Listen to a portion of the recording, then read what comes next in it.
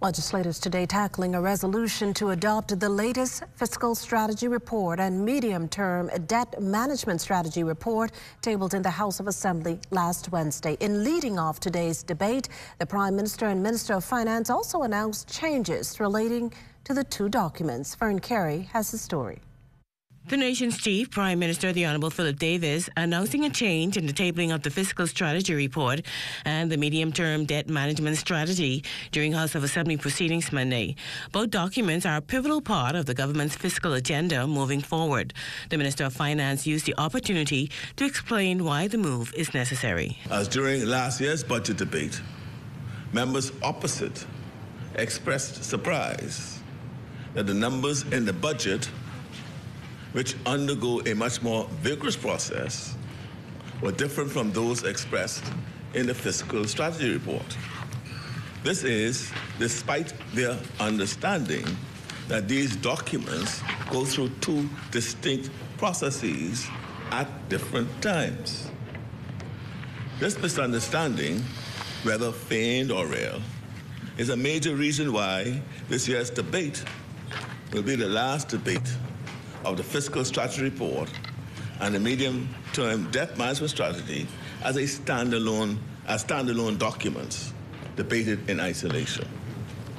The political mischief making that accompanies these debates does cause real reputational and economic harm to our country.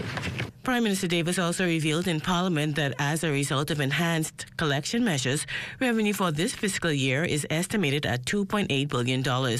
Initiatives are also in the pipeline to boost government revenue while getting those who owe to pay up. This includes the reversal of several policies implemented by the previous administration, which favored a number of special interests. As previously announced, we have reconstituted and strengthened the Revenue Enhancement Unit, which had been disbanded. They are already increasing the number of VAT audits undertaken to ensure proper compliance with the law. We are also reestablishing the Revenue Policy Committee, a cross-governmental committee designed to eliminate leakage and identify areas for enhanced collections. Another revenue measure is value added tax collected on domestic vacation rental properties during the second half of 2022 2023 fiscal year. Government's targeted tax area collection program for VAT, real property tax, and business license fees will be strengthened through the Revenue Enhancement Unit to increase collection of revenue arrears. Additionally, we are phasing in VAT e-invoicing to simplify, to simplify and reduce arrears in the VAT billing and remittance process.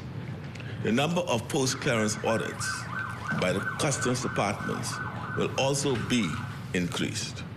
We anticipate improved revenue from real property tax as a result of the recently completed reassessment of property values in New Providence and expansion of the real property tax roll to include properties with unidentified owners. In three weeks, a mid-year review will also be tabled, providing an assessment of government's performance in executing its plans in the fiscal strategy report and 2022-2023 annual budget document. For the Bahamas Tonight, I'm Fern Carey.